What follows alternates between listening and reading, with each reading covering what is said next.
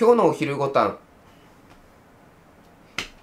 えー、どうもうずです、えー、本日は、えー、音関係の話でいこうと思います。で今回の動画で紹介する商品は、え、ハーマンインターナショナル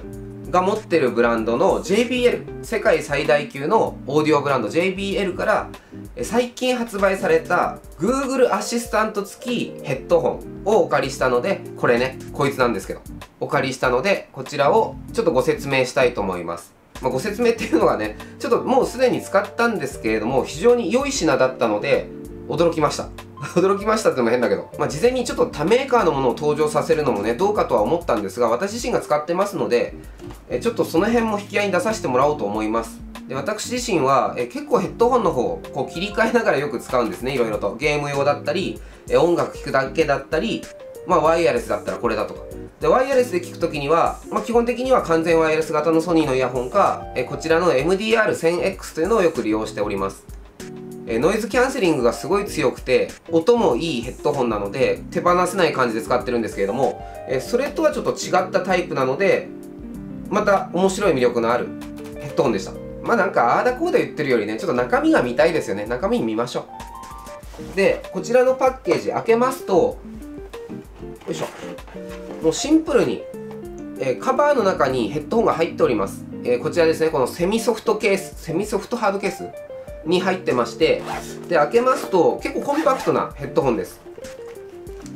えー、オンイヤータイプのヘッドホンということで耳の上にかぶせるような形で使うサイズのヘッドホンです。で私自身は耳にすっぽりかぶせられるようなオーバーイヤータイプのヘッドホンが好きなんですけれどもその理由としてはオンイヤータイプのヘッドホンって耳にね圧迫感があるからあまり好きじゃなかったんです。えところがこの JBL のエベレスト 310GA っていうんですけどもこれを使ったらちょっと印象が変わりました。まあ、ちょっと見てくださいねこのデザイン。このロゴからかっこよくてこの形の良さ。ね形が結構ねいいんですよ。私ハマるデザインです。これすごい好きです。でマイクロ USB 端子での充電になってましてで反対側右のヘッドホン部分なんですがこちらに有線のケーブルつなげる端子と、えー、あとは操作系のボタンがそれぞれついてます。で操作系のボタンに関しては、えー、音量のプラスマイナス再生一時停止あと電源ボタン。で Bluetooth のボタンがついてましてそうだ電源。電源がねこれ使いやすいんですよ。え大抵のワイヤレスヘッドホンってボタン長押しで電源オンなんですがそれも使いやすいんですけれどもえどっちかというと私この JBL のこのタイプの電源好きです。えここ分かります？ここスイッチがあってこれをカチッと1回やると Bluetooth がオンになります。でリンクしてる機器があるとここが青色でね点灯してくれて。でヘッドホン自体でも音声のガイドがあるんですが繋がったことを教えてくれます。でいつものように私の自分の iPhone に接続して今音楽が聴ける状態になってます。で音楽の方も簡単で、え耳元にある再生ボタンそこを1回押すだけで再生が始まります。でその時に操作再生ボタン再生ボタンって分かりにくいんじゃないかって思われるかもしれませんが安心してください。え再生ボタンのところに少しこう出っ張りがあるんですよ。それを触るとあこれ再生ボタンだと思って簡単に押すことができます、まあ、ちょっと慣れが必要かも。えっとねこれが再生ボタンなんですがプラスマイナスの音量ボタンの間に再生ボタンがあってここにだけねちょっとね出っ張りがあるんですよボタンに。それなので、え分かりやすくここをクリックして、え音楽を再生することができます。使いやすいですすごく。あとこのヘッドホンが面白いのは、えこれ Google アシスタントアプリなんですけれどもこちらを起動しておくとヘッドホンの状態電池残量が分かったりあとは Google のそのアシスタント音声でいろいろ操作するということ。時間を聞いたり天気を聞いたりが容易にできるようになります。でその使い方がすごくいいんですけれどもえここの左側左側の側面を1回タップすると11時11分現在新しい通知はありません。という形で、1回タップすると、現在の時刻とメッセージがあるかどうかを教えてくれます。ちょっと設定でね、アプリの方の登録もできるんですけれども、Google アシスタントを使いたいとき、え左の側面をこう押し付けとくと言葉を認識してくれるんですよ。例えば、今日のお昼ごたん。ごめんなさい。あの、今噛んじゃった。今日のお昼ご飯って言ったら、ちゃんと今日のお昼ご飯のおすすめのお店っていうのを紹介してくれました。あー、いい子だな。鴻巣駅から田町駅まで。えー、このように Google アシスタントの方がすぐ利用できるので、スマホを出す必要がなく調べてくれます。で、今この画面あえてお見せしてるんですけれども、えー、実際にはヘッドホンで全て内容を教えてくれます。だから本当にこのスマホの方はポケットに入れっぱなしあとはカバンに入れっぱなしでも今の時間を知れたりあとは車や電車でどこどこに目的地行きたいっていうのも全て音声で教えてくれます。これいいのいいでしょ。これこれすごくいいんですよ。正直今回まあいつものようにねダイムさんの方からお借りしてレビューさせてもらってるんですがこれはね本当に欲しいなって思いました。個人的になんかこれを常にえつけてお出かけしたいっていう感じです。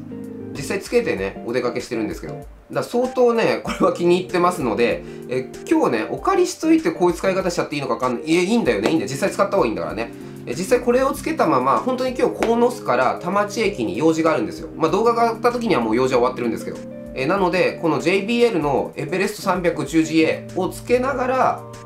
電車で田町駅まで行ってちょっと用事を済まして帰ってこようと思います。あそうそうそう。これこれ話しとかないとね。あのさっき言ってたオンイヤヘッドホンあんまり好きじゃないって言ってた理由の圧迫感。これに関してはこれ昨日ね1時間ぐらいかなずっとつけっぱなしで家の中で過ごしてたんですけど全然ね圧迫感に関するストレスはないです。側圧はまあちょっとねいい意味悪い意味あるんですけど動き回るのには弱い側圧です。ただ落ち着いて歩いたり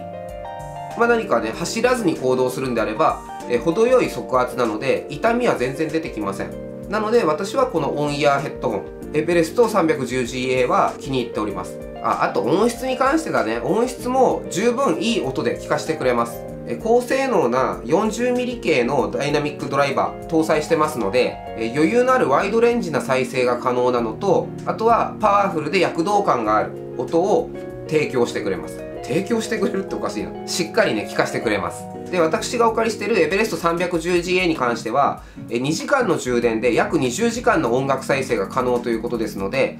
完全ワイヤレス型イヤホン今流行ってはいますがあのイヤホンって10時間も再生できないんですよ。1回の充電でね。そう考えるとこのヘッドホンはかなり余裕を持って音楽を聴くことができます。だからちょっとね23日旅行行っても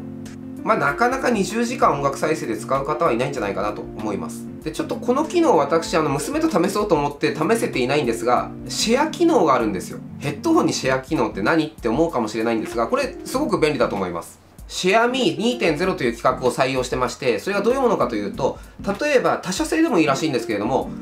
え Bluetooth ヘッドホンを2人で聴ける。だ例えばこれが対応のヘッドホンだとして娘にこれを使わせているで私はこれをかぶってるで1つの端末から音楽を流しておいて2人でシェアできるんですよそのシェアミー2.0っていう企画を採用しているヘッドホンでございますえあとは最大2台の電話機、携帯の待ち受けに設定できるので、マルチポイントって言うんですけれども、まあ、例えば Mac で音楽を Bluetooth で接続して聴いてました。で、スマホの方に電話がかかってきました。そしたらすぐにスマホの方につないでくれて電話をそのままハンズフリーで行うことができます。マルチポイント対応。あとは通話もちょっと試してみたんですけどエコーノイズキャンセリングということで通話の音声こちらからの音声も相手からの音声もすごいクリアに聞いて話すことができます。通話性能もいいです。いいとこばっかだな。で実際にこの JBL のエベレストシリーズ、え3パターンが出てましてこれより大きいヘッドホン、えオーバーヘッドタイプのものがエベレスト710で私が使ってるオンイヤータイプのものがエベレスト310であとはねカナル式のイヤホンタイプもあるんですよ。同じような性能で。えなのでシリーズとしては3タイプ出ております。好みに合わせて選ぶこともできますのでちょっとね気になった方はおそらく JPL だからお店とかにももう展示されてるのかな？あったらぜひちょっと手に取ってあの主張してみていただくとよろしいかなと思います。本当にね Google アシスタントがすごい手軽に使えてデザインもいいヘッドホンなのでこれはすごくね気に入りました個人的に、まあ、ただただね価格がね価格があんま安くなかった気がするんでね。安くないって言っちゃうと悪いんですけど手軽に買おうと思うと確か2万円オーバーしてた気がするんですよ。Amazon とかで見た時に。あそうそうそうそう。あの公式の通販サイトに値段が出てましたのでその通販サイトの公式値段だけお伝えしておきます。この JBL のエベレスト 710GA というこれより一回り大きいタイプ。オーバーヘッドホンタイプが24,880円。で私が今使っているエベレスト 310GA に関しては19,880円。でカナル式のイヤホンの方が9,880円ということで出てますのでお店店頭販売とかだったらもうちょっとお安くなるとは思うんですが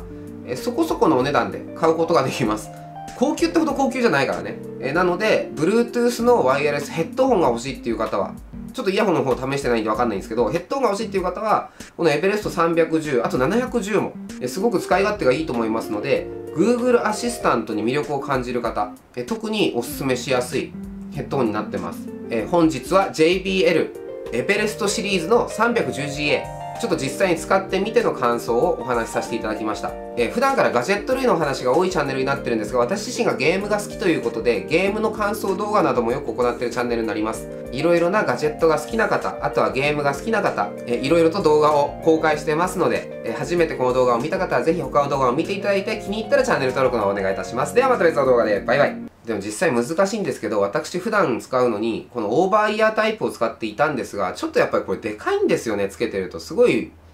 ボリューム感があって、なんかちょっとね、電車でもね、よくつけて使ってる方見かけるんですけど、これ人気ですから。なんですが、もうちょっとね、軽快に使える小型の方が欲しくて、え、悪くないんですよ。これも悪くない。でもなんかちょっと圧迫感ありません？サイズに。で、これに対して、それに対して、こっちだとまだね、なんかスマートに見える感じしません？ね。で、私もともと顔がね、頭がね、大きい感じなので、まあちょっとできるだけね、頭乗せタイプはちっちゃくコンパクトにしたいかなっていう願望ありまして、このオンイヤータイプのヘッドホンはすごいいいんですよね。もうほんとこれ欲しいわ。そんな余裕ないけどね。そんな余裕ないよ。